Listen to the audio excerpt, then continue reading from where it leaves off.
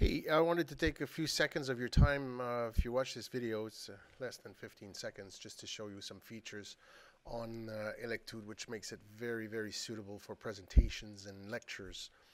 Um, for example, here, um, traditionally, when you go to modules and you actually um, look at a uh, animation, you start a module, you get the animation here, for example. I will load the clutch disk as an example. You have the animation that you can play with. However, uh, instead of having all this material here that is more for an e-learning praxis, you just put it in full screen mode by pressing Alt P and there you go.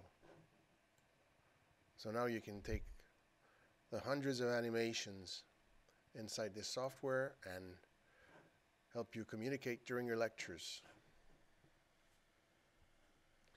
Let me just show you another example.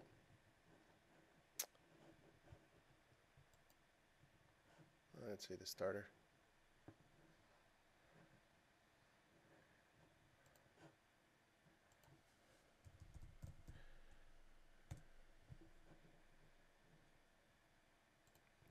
Starter motor is a good example as well because you can manipulate all the uh, various elements of the starter. So here, turn the key.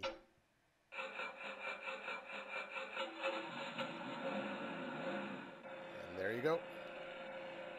Well, thank you for listening.